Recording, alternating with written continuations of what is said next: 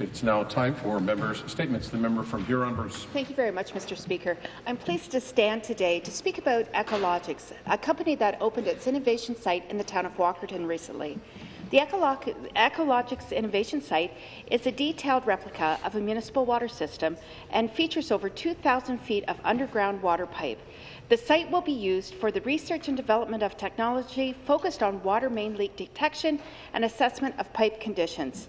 Speaker, in addition to its research and development purposes, the site will also serve as a training and certification facility for engineers, field staff, business partners, and utilities. This will enable field teams and operators to gain considerable experience while remaining under controlled situations. Echologics' long-term plan is to have a permanent presence in Walkerton and will provide full-time employment opportunities in the area. The new generation of trained professionals being educated at this site will be an important resource for municipalities in preventing water main breaks before they occur. The average leak in a municipal water system can last up to 20 years before the effects are felt. Mitigating this problem, then, will not only decrease its associated risk, but save millions of dollars for municipalities. Speaker, Echologics aims to shape the future of the water industry, and I'm excited to support them as they strive to achieve this goal in Walkerton. And I'm proud to say this is happening right at home in Huron-Bruce. Thank you very much. Thank you.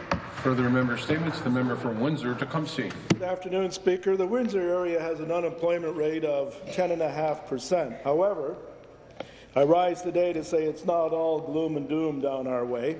Let me tell you about the Downtown Windsor Business Accelerator and what they've been up to lately. Speaker, the Accelerator was formed four and a half years ago.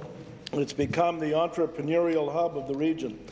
Built in an old bingo hall, the Accelerator offers turnkey office space, on-site mentoring, even free legal advice.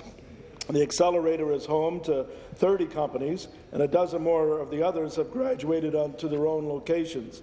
The current members have 86 full-time employees and 68 part-time. The alumni companies report 31 full and 48 part-time staff. The combined revenues from these small companies already total $3 million. The Accelerator also provides incredible support to many of our local nonprofit groups. Their first high school entrepreneurial summit attracted more than 300 students, with a second plan for later this year. They've also started a youth at risk program where young people will be mentored and given microfinancing of up to $3,000 to start a business. The Business Accelerator created a women's entrepreneurial networking series, and more than 300 women have taken advantage of that opportunity. The economic impact of the Downtown Windsor Business Accelerator has had on our local economy is substantial, Speaker. So from the Ontario Legislature, a salute and a job well done. Thank you very much. Thank you. Further member statements. The member from Trinity Spadina. Thank you, Mr. Speaker. I rise today to recognize and celebrate the Ontario College of Art and Design University. It is dedicated and its dedication to education and innovation. OCAD is situated in my riding of Trinity Spadina, is at the heart of, of Toronto's art, design, and new media industry. Recently, 99 projects by 74 OCAD students, alumni, faculty were unveiled at the Mississauga office of Mercedes-Benz Financial Services. The October 1st, uh, the October 21st opening of the exhibition titled Experiencing Perspectives was well attended by OCA alumni and Mercedes-Benz staff. This event highlighted their seventh years of partnership with Mercedes-Benz to encourage creativity and art appreciation in the workplace. OCA is a state-of-art institution with competitive entrance requirements, 17 undergrad programs and uh, six uh, grad programs since, since being founded in 1876, OCA has evolved into a champion of cross-disciplinary education and continued to integrate emerge, emerging technology for the age of imagination. I'm extremely proud of OCAD in Trinity Spadina and the contribution their students, alumni, faculty make in the community. I stand today and invite all Ontarians to acknowledge the achievements of OCAD and their continued success in the arts and design industry. Thank you, Mr. Speaker. Go, okay. Thank you. Further members' statements. The member from Perth Wellington. Uh, thank you, Speaker. Uh, today I would like to recognize an example of outstanding generosity in Perth Wellington. The Stratford Perth Community Foundation is dedicated to building strong and vibrant local communities. Since 2004, the Stratford Perth Community Foundation has distributed close to $450,000 to area charities. That money has been donated through 45 different funds that support all types of services in Stratford, St. Mary's, and Perth County.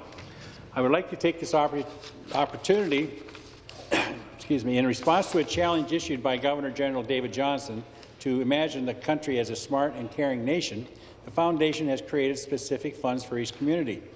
These smart and caring community funds allow community members to donate in their hometown, with the funds remaining in that specific municipality. On October the 8th, the Stratford Smart and Caring Community Fund was launched and has already received an, incredible gener an incredibly generous kickstart.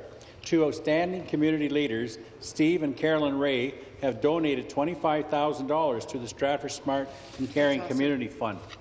I would like to take this opportunity to thank Steve and Carolyn for their outstanding generosity. And thank you to the Stratford Perth Community Foundation's Board of Directors and to Tracy, Roxy, and Amanda for your dedication to our communities. Next week, the Foundation is spearheading Random Act of Kindness Day, and I look forward to participating. Thank you, Mr. Speaker. Thank you. Further member statements? The member from Welland. Uh, thank you, Speaker. It's an honour to stand today and recognize two constituents from Thorold in my riding of Welland, John Pruyn and his daughter Sarah. John and Sarah led a cross-country bike ride this summer to tell our governments that illegally detaining a peaceful protester and ripping off his prosthetic leg in the name of justice and security is an insult to democracy in Canada. John Pruyn, an amputee from a farm accident, recalls that while taking a break from the G20 demonstration right here lounging on the grass at Queen's Park. They were approached by officers, ordered to get up, and when John took longer than the officers would have liked, they were attacked. He recounts they were assaulted, detained in cages for over 72 hours. Worse, his prosthetic leg was ripped off and confiscated. Despite that, no charges were ever laid. No apology was ever given, no explanation even. After calls for a federal inquiry fell on deaf ears, both set out on bikes this summer for a four-month tour, stopping at police stations and MPP, MP offices from British Columbia right through to Prince Edward Island. Today, I'd like to thank John and Sarah Pruyn for reminding Canadians that our charter of guaranteed rights and freedoms can never be compromised and must always be respected. Thank you. Further member statements? The member from York South-Weston.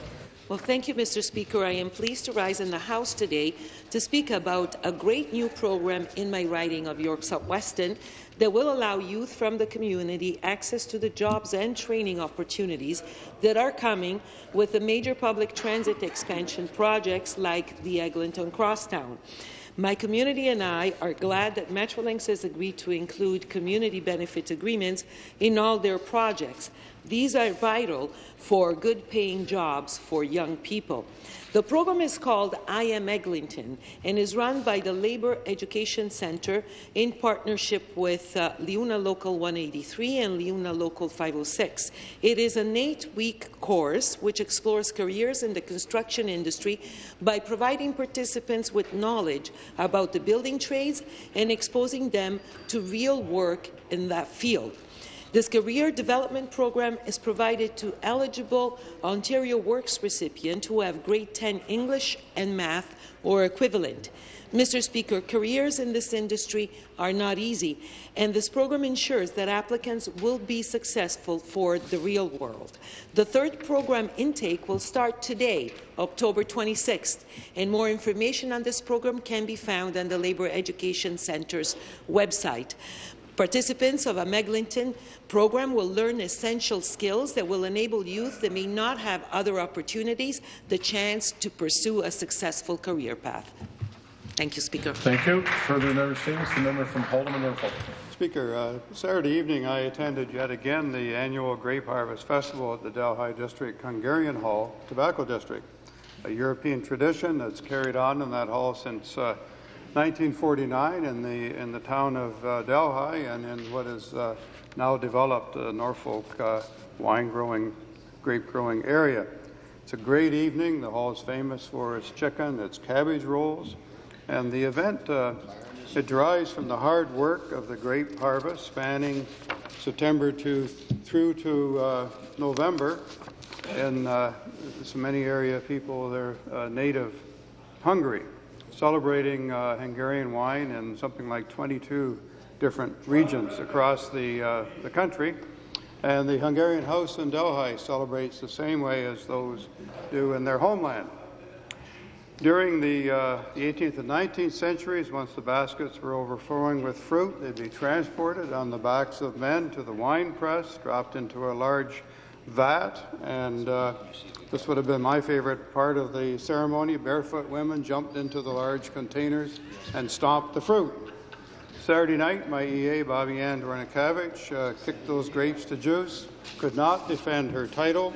Dan Weiss of Snapped almost put the vat out on the dance floor, but in the end, Norfolk Mayor Charlie Luke was crowned the new champion. Köszönöm to the Hungarian House for the hospitality. Thank you. Ursulum Pen. Member statements. The member from Etobicoke Centre. Thank you, Speaker. Speaker, as elected members, we're here to improve the quality of life of the people who live in our ridings. But, Speaker, when I think of the people who shape the quality of life in my community, I often think of the people who volunteer their time day after day to make Etobicoke Centre even better. And today I rise in the House to recognize the important contributions of a group of people and an organization in my riding that are doing just that, the Richmond Gardens Ratepayers and Residents Association. The association reformed earlier this year, Speaker, to represent the homeowners and apartment building dwellers who live in Richmond Gardens. And I had the pleasure of meeting with the association's board earlier this year and was impressed by the amount of work that they had taken on and their dedication to our community. We discussed a number of issues that are important to the community, including the potential redevelopment of the Eglinton corridor, potential transit in the corridor, and the future of Silver Creek School and the adjoining green space. The Silver Creek building hosts two major organizations that support children with physical and developmental challenges and special needs, Speaker, the Etobicoke Children's Centre and the Silver Creek Preschool. I visited both this year, and I have to say that I was touched not only by the children that I met, but the dedication of the teachers, the staff, and the volunteers who care for them every single day. These two organizations provide a critical service, and the adjoining green space is very important to our community, and that is why I believe it is critical that these two organizations and the green space uh, remain so that they can continue to serve our community. I'd like to thank the Richmond Gardens Ratepayers and Residents Association for, for their board and for their members for all their hard work and their advocacy, and I look forward to working with them in the months and years to come to continue to strengthen the quality of life of the people of the Etobicoke Centre. Thank you, Speaker. Thank you. Further member statements. The member from Brant, uh, Brampton Springdale. Thank you, Mr. Speaker. According to recent news stories, parts of India are engulfed in unrest and demonstrations against desecration of the Sikh holy book, the Sri Guru Granth Sahib. This is the most unfortunate development in an otherwise peaceful, tolerant, multi-religious, multi-ethnic and law-abiding state of Punjab. One would like to strongly disassociate and condemn any such acts against any holy book or religious practices. The current state of endless demonstrations leading to violence has resulted in the loss of innocent lives. To put an end to this most unfortunate state of unrest, I strongly urge the authorities to bring to justice the perpetrators of these current act acts of cowardice, which would certainly be termed as hate crimes. One hopes that our Canadian values of inclusiveness, tolerance, respect for each other will be re reflected amongst the people. Mr. Speaker, on behalf of my constituents, I want to strongly urge the appropriate authorities to help bring peace to the affected areas, and as well to make sure that the people responsible for these cowardly acts are properly, charged and punished. This is important not only to my constituents, but to Sikhs living abroad in, and in Ontario. Thank you, Mr. Speaker. Thank you. Thank all members for their statements.